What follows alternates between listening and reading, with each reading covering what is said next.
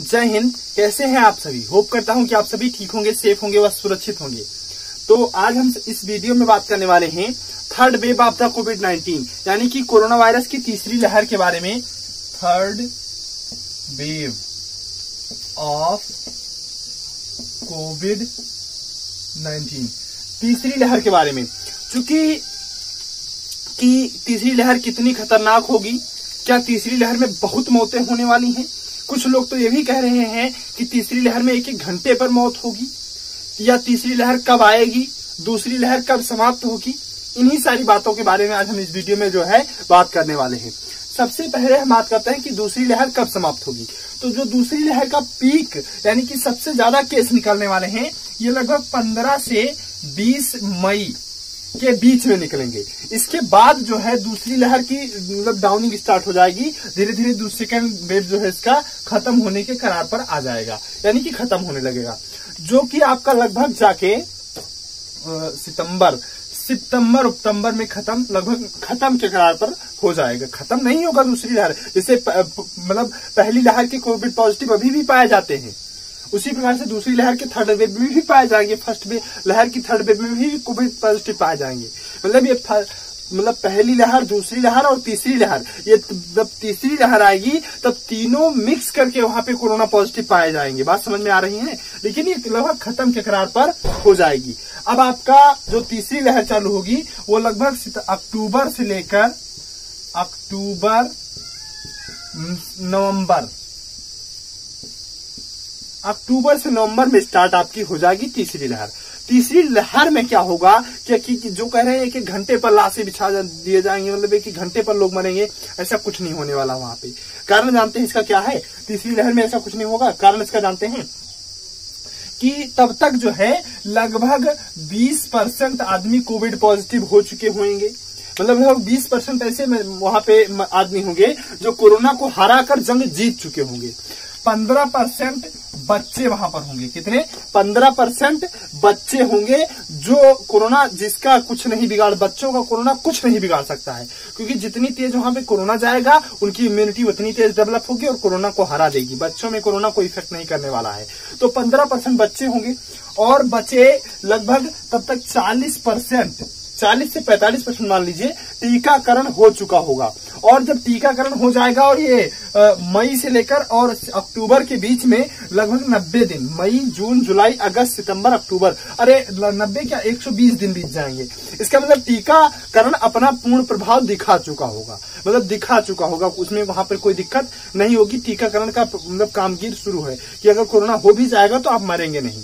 Normal कुछ बुखार उखार होगा, टहलते टहलते आप ठीक हो जाएँगे। या मेडिकल स्टोर से जाके दवा सवा लेके आप ठीक हो जाएँगे। तो लगभग चालीस परसेंट ऐसे लोग होंगे। तो अगर टोटल जोड़ा जाए तो ये सेवेंटी फाइव परसेंट होता है। सेवेंटी फाइव परसेंट वहाँ पर ऐसे लोग होंगे जिनको कोरोना नहीं होगा। नहीं होगा से मेरा तात्पर्य है, जिनका कोरोना कुछ नहीं कर पाएगा। हो सकता है, कोरोना ऐसी बात नहीं कि जो कोरोना से एक बार ठीक हो चुके हैं, उनको कोरोना नहीं होगा, या जो टीका लगवा चुके हैं, उनको कोरोना नहीं होगा।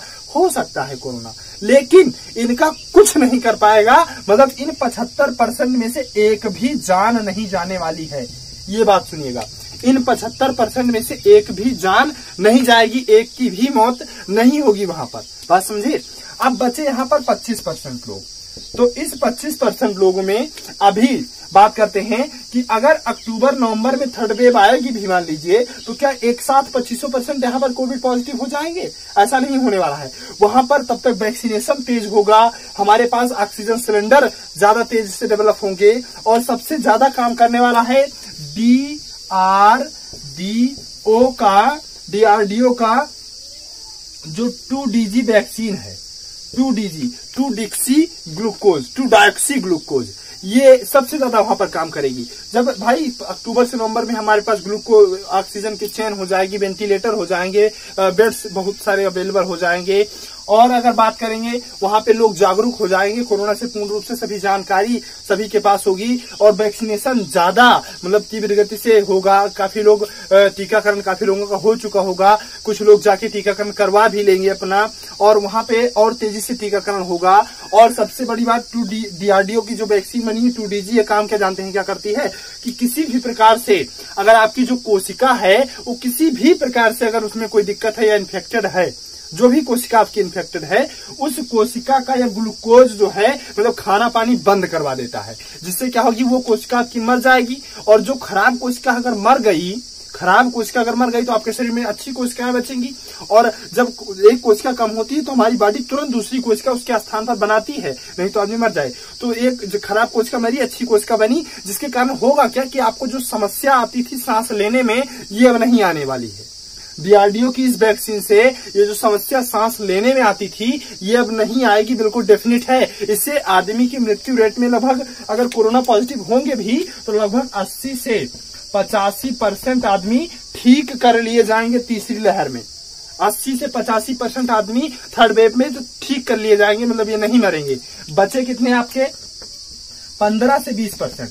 यही लोग वहाँ पे मरेंगे। मतलब इस पच्चीस परसेंट का अस्सी से पचासी परसेंट आदमी ठीक हो जाएँगे और पंद्रह से बीस परसेंट लोग ही वहाँ पर मरेंगे। क्योंकि डीआरडीओ की वैक्सीन सबसे ज़्यादा सरदार है, सबसे ज़्यादा कामगीर है वहाँ पे।